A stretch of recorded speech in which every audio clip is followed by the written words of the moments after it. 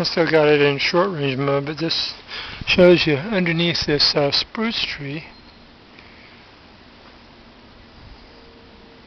how the shade has really taken out a lot of these arborvitaes. It's disease in the arborvitae and spraying for mites and other things, but I think it's more of a disease problem.